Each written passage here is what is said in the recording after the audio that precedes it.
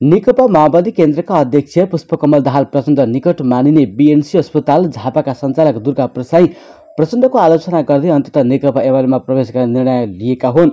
आइतबार गृह जिल्ला झापा पुगेका एमाले अध्यक्ष केपी शर्मा ओलीले प्रसाईलाई खादा ओढाएर पार्टीमा प्रवेश गराएका थिए। पार्टी प्रवेशसँगै कार्यक्रममा उनले आफ्नो मन्तव्य राखे। मन्तव्यका क्रममा उनले माओवादी केन्द्रका अध्यक्ष प्रचण्ड र जनता समाजवादी पार्टी नेपाल जसपाका संघीय परिषदका अध्यक्ष डाक्टर बाबुराम भट्टराईको चर्को आलोचना गर्न समेत भ्याए। प्रसाईले दुवैलाई कम्युनिस्ट भन्न लाज लाग्ने बताए। आजको दिन देख्नको लागि क्रान्ति गरेको हो भन्दै प्रचण्ड र बाबुराम दुवैलाई प्रश्न गरे। कार्यक्रमलाई सम्बोधन गर्ने क्रममा ओलीलाई हजुरबुवा भनेर प्रसाईले सम्बोधन गरेका थिए। ओलीको निकै प्रशंसा गरे। ओलीलाई उनले सिङ्गापुरका निर्माता ली क्वान र यु र मलेसियाका नेता महाथिर मोहम्मद नै भनिदिए। ओलीमा म सिङ्गापुरका नेता ली क्वान यु देख्छु महाथिर मोहम्मद देख्छु। त्यसपछि प्रसाईले माओवादीको खोइरो खन्दा हलमा होटिङको वर्षा छायो। उनले माओवादी विरुद्ध खोइरो पनि खनिरहे। यसअघि एमाले र माओवादी केन्द्रबीच एकता हुनु अघि प्रचण्ड र ओलीलाई आफ्नै निवासमा लन्च भेट गरेका प्रसाईले दुवैलाई माथि चामलको भात खुवाएका थिए र उक्त तस्विर अझै सार्वजनिक रूपमा चर्चा भइरहन्छ। दुई हजार सतहत्तर फागुन तेइस गते सर्वोच्च अदालतले नेकपा खारेज गरेर साबिकै एमाले र माओवादी केन्द्र बिउताएपछि प्रसाई ओलीतिर लागेका हुन्। अर्कोतिर नेकपा एमालेका उपाध्यक्ष भीम रावल खरो बोली बोल्ने नेताका रूपमा चिनिन्छन्। सत्यसहित तथ्य प्रस्तुत गर्ने रावलको बोलीसँगै राजनीतिक पकड पनि बनाए। राष्ट्रिय अन्तर्राष्ट्रिय राजनीतिको ज्ञान राख्ने रावलले पिएचडी पनि गरे। यसले उनको बोलीमा अझ बल थप्यो। रावल एमाले एक हुँदा पकडका हिसाबले तेस्रो शक्तिशाली नेता थिए। सबैभन्दा बलियो पकड अध्यक्ष केपी शर्मा ओलीको थियो। त्यसपछि तत्कालीन एमाले वरिष्ठ नेता माधव कुमार नेपालको थियो। उनी तेस्रो स्थानमा थिए। सुदूरपश्चिम र कर्णाली प्रदेशमा रावलको पकड थियो। तत्कालीन नेकपामा केपी शर्मा ओली विरुद्ध कडा रूपमा प्रस्तुत हुने रावल नै थिए। कतिपयले रावललाई प्रमुख प्रतिपक्षी दलको नेता नै जस्तो ठान्थे। ओलीको खरो विरोध गरिरहँदा उनी माधव कुमार नेपाल पक्षमा मजबुत ठहरिए। नेकपा विभाजन हुँदा रावलले माधव नेपालको साथ दिएनन्। उनले एमालेमै रहेर सङ्घर्ष गर्ने कठोर निर्णय लिए। उनले माधव नेपाल पक्षबाट ठुलो आलोचना खेप्नु परेको थियो। गदारसम्मको आरोप लाग्यो। हुन पनि माधव नेपाल नवौँ महाधिवेशनमा अध्यक्षमा चुनाव लड्दा रावल सोही समूहबाट उपाध्यक्षका उम्मेद्वार थिए। उनले उपाध्यक्षमा सबैभन्दा बढी मत ल्याएर निर्वाचित हुने मौका पाए। वामदेव गौतम विद्यादेवी भण्डारी जस्ता हस्ती नेताहरूको भन्दा रावलको मत बढी थियो। यसले उनलाई एमालेको भावी अध्यक्षका रूपमा दावेदार बनाइदियो। पकडको हिसाबले रावल तेस्रो शक्तिशाली बनिसकेका थिए। ओली र नेपाल बीच रावल गुट बलियो थियो। सुदूरपश्चिम प्रदेशमा बहुमत सांसद उनको पक्षमा थिए। सङ्घीय संसदमा पनि उनी पक्षधर सांसदहरू थिए। प्रदेशमा उनी पक्षधरले नै साथ छाडे। रावल कमजोर साबित भए। एमाले र माओवादी एकीकरण भई नेकपा बन्दा रावलमाथि धक्का लागेको थियो। उनी सचिवालय सदस्य समेत बनाइएनन्। तर उनी निरन्तर सङ्घर्षमा उत्रिए। यति धेरै सङ्घर्ष र विद्रोहका बोली बोल्दै गएका उनलाई दूरगामी राजनीतिमा नकारात्मक असर पर्न थाल्यो। अहिले उनी नेकपा एमालेमा छन् तर उनको पकड झन कमजोर देखिएको छ। माधव नेपालको साथ छाड्दा उनी ओली विरुद्ध जुत्दा निकै कमजोर साबित भएका छन्। ओलीले उनलाई अझै पेल्ने सम्भावना बढेर गएको छ। माधव नेपालले उनको नाम नलिई हर बिजोक भएको टिप्पणी गरेका छन्। एमालेमा ओली पक्षको पेलाइमा पर्दै गए रावलको हालत माधव नेपालले भने जस्तै नहोला भन्न सकिँदैन तर उनले यस बीच नै विद्रोह गर्ने सम्भावना पनि देखिएको छ। यसअघि प्रतिपक्षी दल नेकपा एमालेको अध्यक्ष केपी शर्मा ओलीले दस बुधे कार्यान्वयन कार्यदलका संयोजक भीम रावलले दिएको राजीनामा केही पनि नभएको जवाब दिएका थिए।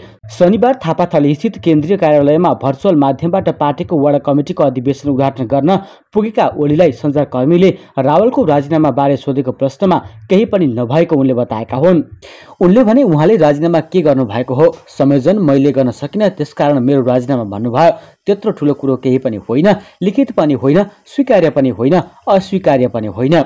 दस बुधे सहमति कार्यान्वयन हुन्छ भन्ने प्रश्नमा अध्यक्ष ओलीले बाँकी केही छन् त्यो हुन्छ भनेर जवाफ दिएका छन्। विभाजित पार्टी एकता गर्न बनेको दस बुधे कार्यदलका संयोजक रावलले अध्यक्ष ओलीलाई यसअघि पटक पटक दस बुधे अक्षरंश पालना गर्न सम्बोधन गर्नुपर्ने भन्दै आएका थिए। बीचमा ओलीले रावललाई दस बुधे माग पुरा हुने आश्वासन पनि दिएका थिए।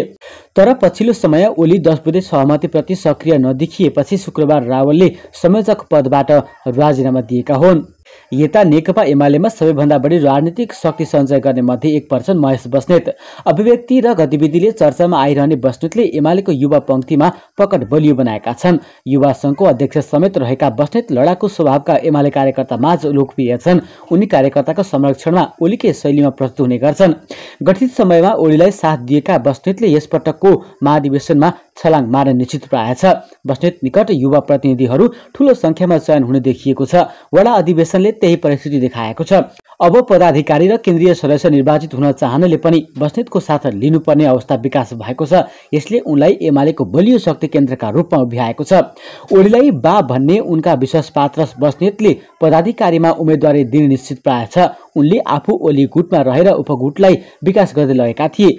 अर्कोतिर नेकपा एमालेको सुनसरी जिल्ला कमिटी विभाजित बनेको छ। दस बुधे सहमति कार्यान्वयन गर्न केपी ओली पक्षले अस्वीकार गरेसँगै दुईवटा समानान्तर कमिटीहरू एकले अर्काको अस्तित्व स्वीकार नगर्ने अवस्था बनेको हो। ओली समूह र तेस्रो धारका नेताहरू बीच एकले अर्कालाई आरोप लगाएर वक्तव्य निकाल्ने होडबाजी नै चलेको छ। कार्तिक दुई गते नेकपा एमाले सुनसरी जिल्ला कमिटीका अध्यक्ष रेवती रमण भण्डारीका नामबाट एउटा प्रेस विज्ञप्ति जारी भयो जसमा कार्तिक दुई गते पार्टीको सचिवालय बैठक बसेको र विभिन्न निर्णयहरू भएको उल्लेख थियो।